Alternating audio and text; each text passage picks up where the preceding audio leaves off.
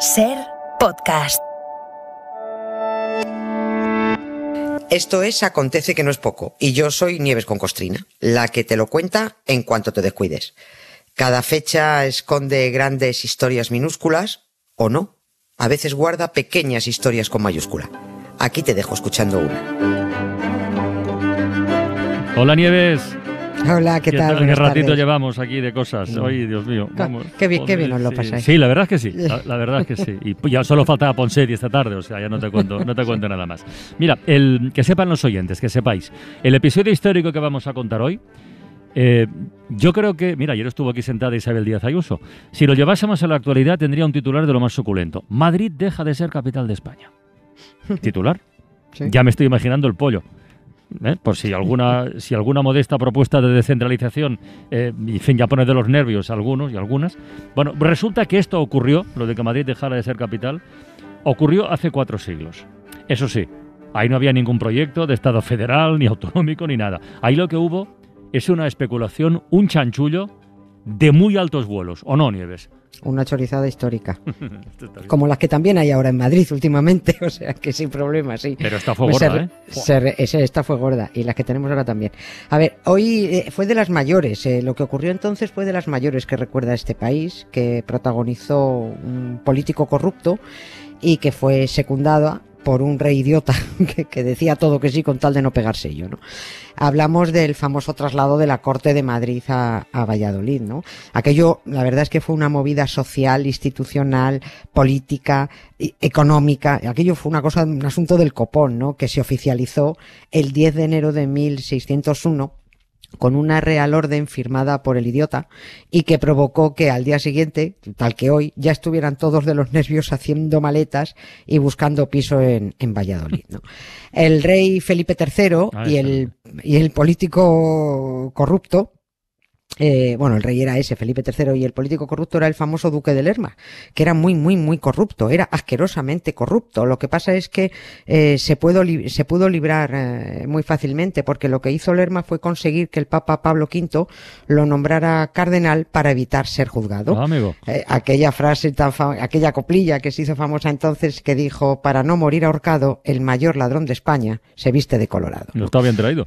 Sí, sí, sí. Aquello fue, fue alucinante, que te hagan cardenal para, pa- para, que no te puedan juzgar, ¿no? Pero esto fue cuando se destapó toda la corrupción. A lo que vamos es al, al principio, a la magistral maniobra especulativa del duque de Lerma, que se escondía tras el traslado de la corte y la declaración de Valladolid como la nueva capital de la monarquía hispánica. Hombre, ni que decir tiene que Felipe III, eh, alias el Piadoso, que era su ¿El nombre Piadoso le llamaban? El, el Piadoso, sí. Este ni pinchaba ni cortaba. Él iba donde le decía el duque, él volvía cuando se lo mandaba, él firmaba donde se lo indicaba, ¿no? Y, y el resto del tiempo cazaba, jugaba a los dados y rezaba el rosario. Mira. Nueve rosarios al día. Joder. Nueve.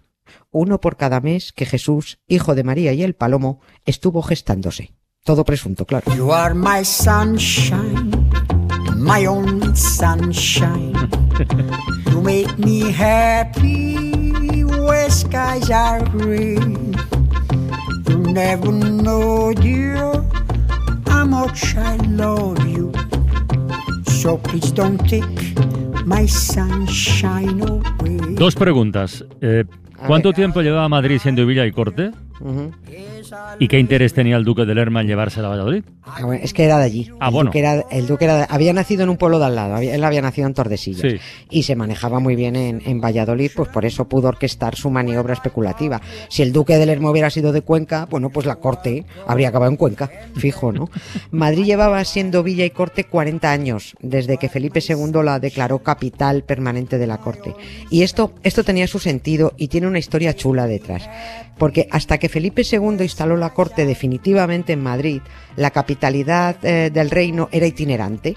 Estaba para arriba y para abajo. No solo se trataba de que el rey evitara mostrar demasiado favor por alguna de sus villas, quedándose fijo, eh, también mudándose de una a otra, lo que hacía era asentar su poder a lo largo de todo el territorio. Ya. Era algo así como decir, Ya, aquí, ya.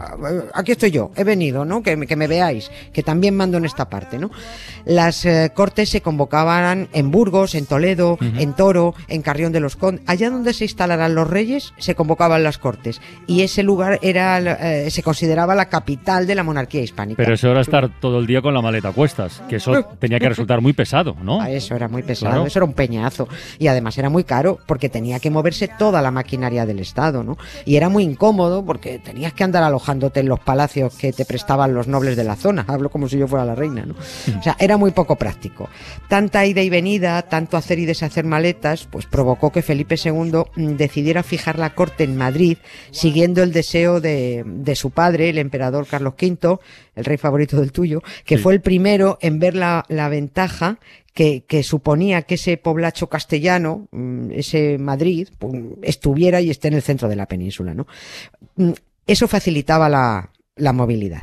Antes de dar carácter definitivo a, a su decisión, Felipe II eh, lo que hizo fue comprobar si se confirmaban las bondades del lugar. ¿no? El, el historiador del siglo de oro, eh, era muy bueno, se llamaba Luis Cabrera de Córdoba, escribió que si algo decidió al rey fue que la villa estaba bien proveída de mantenimientos por su comarca abundante, buenas aguas, admirable constelación y aires saludables. Mare mía, saludables. Como ahora. Sí, si Felipe Igual. II llega a trincar a los dos contaminadores que tenemos ahora, los encierran en el Alcázar. A, Felipe, a, a- digo a Felipe, a Martínez y a, la ida. Felipe III no. Felipe III, como era un lerdo, pues iría de cañas con una y se hubiera ido a misa con el otro. Con Felipe II terminó la época de los gobiernos personalistas y se inició la edad dorada de los válidos, de esos políticos que manejaban a su antojo al rey, manejaban por supuesto el gobierno y manejaban lamentablemente los presupuestos generales del Estado.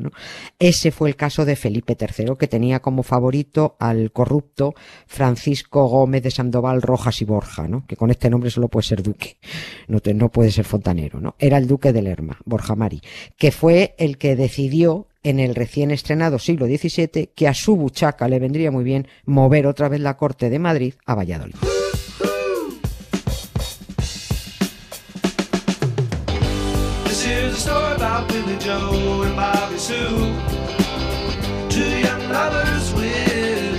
The.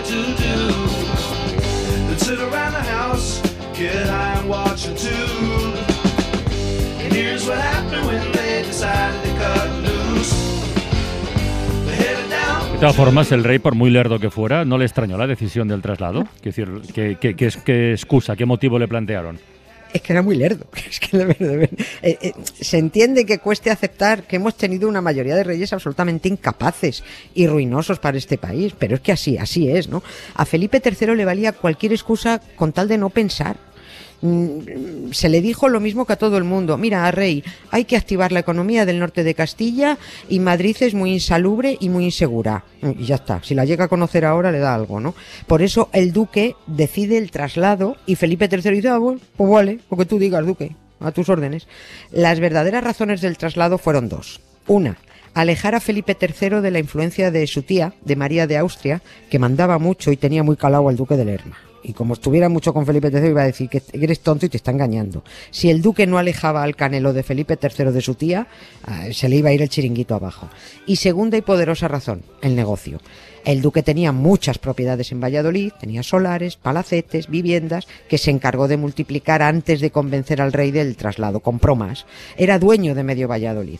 Al trasladarse la corte, las miles de personas que arrastraba y las instituciones tenían que instalarse en alguna parte. Ahí estaba el duque para alquilarles sus casas, sus terrenos, sus palacetes y por supuesto a precio de oro.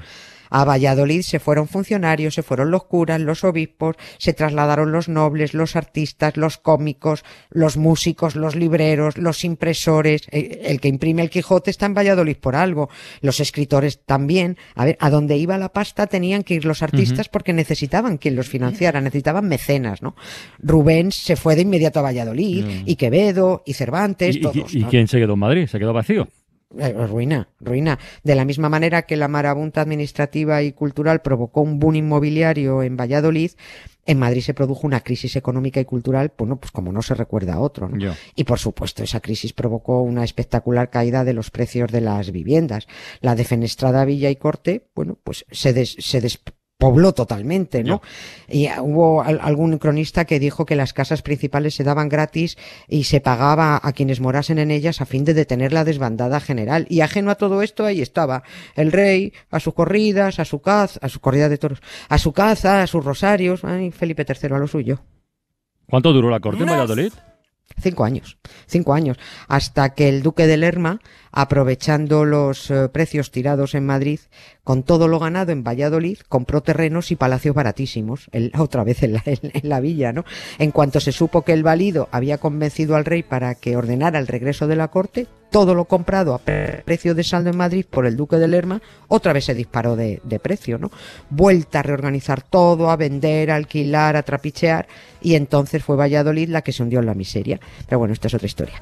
A partir del regreso quedó ya para siempre aquello de solo Madrid es, es no se movió más, ¿no? Bueno, corte y todavía hoy paraíso de especuladores. Ya sabes, la nave industrial que llaman Isabel Zendal parece idea del duque de Lerma. Yo lo veo así. jamás regresaría Madrid de todas las suertes.